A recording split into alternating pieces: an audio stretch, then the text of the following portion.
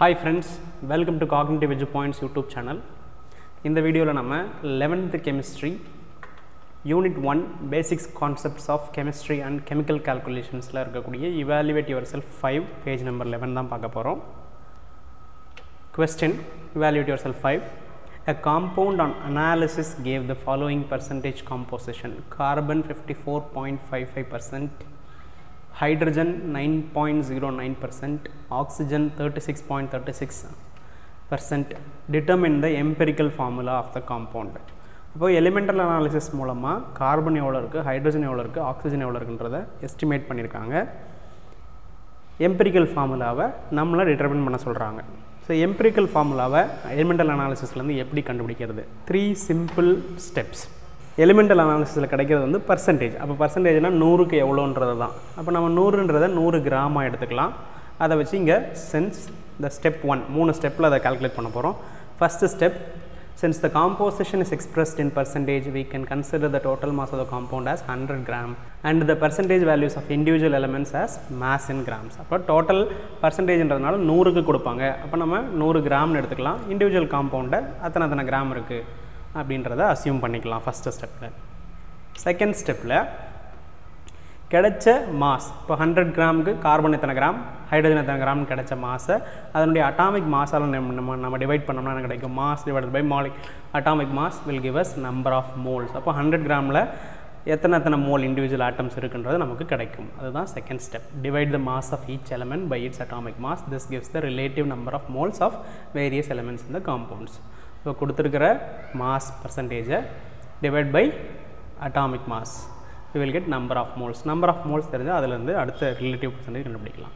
Third step இந்த கிடைச்ச relative பர்சன்டேஜில் எது ஸ்மாலஸ்ட்டோ செகண்ட் ஸ்டெப்பில் கிடைச்சது எது ஸ்மாலஸ்ட்டோ அதை வச்சு எல்லா நம்பரையும் டிவைட் பண்ணோம்னா we will get the simplest ratio அந்த சிம்பிளஸ்ட் ரேஷியோலேருந்து எம்பிரிக்கல் ஃபார்முலா கண்டுபிடிச்சிடலாம்.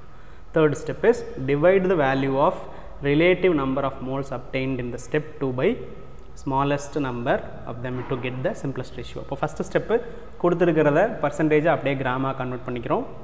So we don't do anything gram second ஸ்டெப்பில் அதனுடைய அட்டாமிக் மாஸால் டிவைட் பண்ணுறோம் அப்போ நம்பர் ஆஃப் மோல்ஸ் கிடைக்கும். அதுக்கப்புறம் அந்த கிடைச்ச நம்பர் ஆஃப் மோல்ஸில் எது ஸ்மாலஸ்ட்டோ அதிலிருந்து எல்லாத்தையும் டிவைட் பண்ணுறோம் கிடைக்கும் கிடைக்கிறது தான் சிம்பிளஸ்ட் ரேஷியோ ஸோ இதை ஒர்க் அவுட் பண்ணுறது எப்படின்னு பார்ப்போம். இதுக்கு நம்ம கொடுத்துருக்கிற எலமெண்ட் என்னென்னன்ற ஒரு டேபிளாகவும் ஒரு காலம் அதனுடைய பர்சன்டேஜ் காம்போசிஷன் என்ன அப்படின்றத ஒரு காலமாகவும் அதனுடைய அட்டாமிக் மாஸ் என்னன்றது ஒரு காலம் அதில் இதில் இது ரெண்டையும் பேஸ் பண்ணி ரிலேட்டிவ் நம்பர் ஆஃப் மோல்ஸ் கண்டுபிடிக்க போகிறோம் அதில் வந்து சிம்பிள் ரேஷியோ இதுதான் நம்ம ஸ்டெப்ஸு அப்போ கொஷன்லேருந்து என்னென்ன கொடுத்துருக்காங்க? கார்பன் ஹைட்ரஜன் ஆக்சிஜன் அதை எடுத்து எழுதலாம்.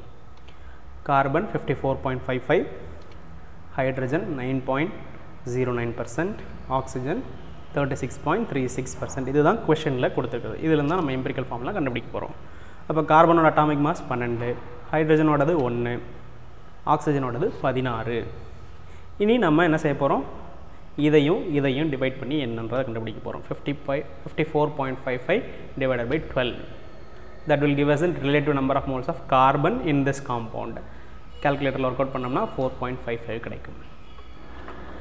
செகண்ட் ஹைட்ரஜன் அதே போல் ஒன்னால் டிவைட் பண்ணுறோம் very easy so ஒன்னால் anything divided by one will be equal to same number அப்போது நைன் பாயிண்ட் ஜீரோ நைன் இதுதான் number of moles of hydrogen in the compound per hundred gram next oxygen thirty six divide by sixteen that will be equal to ரஃப்லி two point two seven இப்போ இந்த மூணு number four point five five carbon nine point zero nine hydrogen oxygen two point two seven இதில் smallest number எது?